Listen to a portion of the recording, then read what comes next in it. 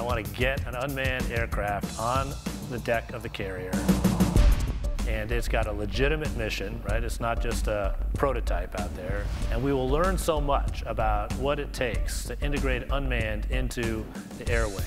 We'll get out there now with something and we'll start learning. As technology becomes available, we'll, we'll incorporate that and we'll learn again.